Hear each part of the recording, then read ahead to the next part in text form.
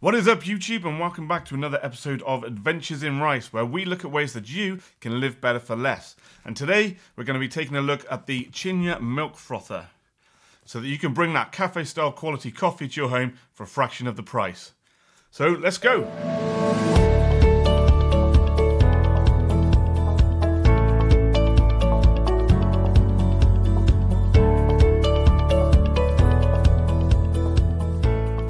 So have you ever wondered why the coffee you get from the cafe or one of the stands when you're out around town is so much nicer than what you can get at home? But it always comes down to the way they heat and the way they steam the milk. So what you can do now is buy an electric coffee frother like this, which will do the same thing at home. You can get electric whisks, which are much, much cheaper. They run off batteries and it's literally a whisk with a handle. Um, they're not great, they don't heat the milk either. So generally, they're a bit of a waste of time. These electric coffee frothers, they vary in price, anything from around £25 up to 100 for this kind of thing. You can get slightly bigger units for milk steaming, which are up to 220, which personally I think is a bit over the top uh, just to heat some milk. So in the box, you have your instructions. There we go. And the main uh, frothing unit and the base. The base is just like a kettle base. So you got your UK 24 volt mains um, plug, and then your sort of kettle base there, which the frother just sits on top of.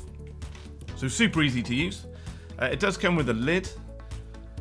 I suppose you can use it to stop splashing. Um, I never do, to be honest. What you do find as well is you have two attachments. So what happens is you put the milk in, you press whichever button you need at the front, we'll get into that in a second, um, and it'll spin the milk. And you have two attachments. You have this one here, which is designed to heat the milk, so you get very little froth with this one. And then built into the lid, you have this one with more of a spring on it. There we go. Uh, same sort of thing, but this is the one that's going to give you all the all the froth. Um, they literally just come on and off and slide straight into the bottom of the, the base there. Um, whichever one you're not using, you can store in the lid like so. So this particular one is a Chinya one. There are a lot of different ones on the market. Like I say, this this one's about $29.99. I got it with some Amazon credit I had. There are a lot of other models. Um, they all seem to be almost identical. The handles change and the buttons change. But looking at the inside, you have these little markers. Um, and they tend to be pretty much identical throughout the whole range. So I don't know how much is actually different. With this particular model, uh, it will take 150 ml of milk or 300. And the reason you have the two different measurements uh, and two different markers inside is the bottom one, the 150 mil is for the big froth. Um, and obviously, as it froths, it's going to come over the top if you put too much in. And then the 300 is the top one for the, the heated milk. So depending on your milk to froth ratio, it's going to depend which one you use.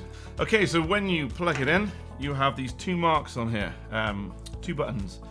You got your bottom one for your cold milk, so you can make things like uh, lattes, cold lattes, things like that. Uh, iced coffee, I guess. Um, what that, that's going to do is it's going to give you the froth. So obviously it's not going to heat it, but it's going to give you the froth.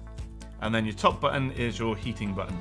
So you press that, and that'll work on froth mode or heating mode, the, the 300ml mark mode. That's the one you're probably going to use most of the time, to be honest. Okay, so they're super easy to use. All you have to do is plug it in, sit your frother on top of the base, pour in as much milk as you need to the 150 or 300 ml mark, and then press the button as to whether you want hot or cold milk, and then leave it to go. It's on an automatic timer, so when it's finished, it automatically stops, and then you can obviously pour it into your drink. What you then want to do is get a hold of your uh, your coffee. So whether you're using instant coffee, if you've got a Nespresso machine with the pods, that kind of thing, or even hot chocolate, what you want to do is put the coffee in the cup a little bit of hot water, mix it up into more of a paste. It's just going to make it mix better. Um, and obviously add in as much uh, water as you need for that part. And then once the, the milk's done, you literally just pour it in. And it really is as easy as that. Um, it does take a bit of practice to get the right amount of milk. I tend to put in a couple of millimeters underneath the mark for the particular cups I use. Um, and obviously, depending how big your cup is, it's going to vary how much you need to uh, to level it up there. Some of the other models I've seen, they tend to be, I think it was 120 and 160 mil, so they don't hold as much milk. Um, so I went for that one because I like to take coffee when I go into town or if I go to work. Um, obviously, you can put them into things like this, uh, a thermos style cup to take with you to keep things warm, or you've got your reusable plastic coffee style one, uh, which you can take with you. What you can also do, and what I like to do, is if I'm in town and I happen to get a coffee, I usually bring back the the uh, the cups with me in the car, wash them out, and then you can use them again uh, if you're in a rush to go out somewhere, or you've got somebody else that wants one. You've got your spare cups you can take with you. So what I found personally with this particular one is the froth is either too much or too little for me. Um, I tend to use it on the heat only setting. That gives you a slightly creamy texture to it, especially if you use blue milk instead of green. Um, uh, red milk's going to be the worst, and I think I saw orange milk recently as well, which is about 1% fat milk. Blue milk, I think, is about 4%. So the higher the fat percentage, the creamier the uh, the milk's going to be, the creamier the coffee, and the um, the more froth you're going to get out of it, uh, allegedly. But yeah, I find the um, on the froth mode, it's way too much froth. It's it comes out like it falls out. Um, it's like meringue, things like that. And on the heating mode, it's slightly too little froth. Uh, it'd be nice to get somewhere in the middle. I wouldn't recommend it if you wanted to get into things like um, like latte art, doing the little pictures on the coffee and that. I've probably had 50 coffees with this now, and it is incredibly difficult to actually do any kind of pattern um, on the coffee. The one I actually I'm doing in the video now is probably the worst one I've done so far.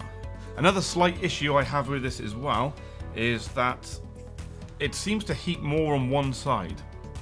And what you tend to find is once you've made your coffee and you look inside, there's a, a slight amount of, uh, I wouldn't say milk scum, but, but it's sort of caked in milk on, on the one side. And that for me is, it's not great. I mean, it's not the end of the world. It just, it means you've got to clean it more. That's all. So would I recommend the Chinya Milk Frother? Um, I wouldn't spend more than 30 quid on one of these, but if you've got some credit or gift cards or your birthday's coming up, anything like that, and you are a coffee, a coffee addict, then uh, yeah, certainly go for one because you're going to save money in the long run um, using your reusable plastic coffee cups. And uh, like I say, for a coffee in town, Starbucks, something like that, you're normally looking at 350 to 390 for a mocha. Whereas you can make this at home now and it's going to cost you the, the price of a, a, spoon of coffee.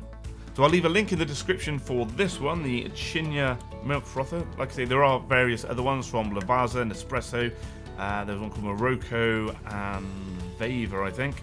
Um, all around the same price, the Lavazza and Nespresso ones obviously being a more premium item.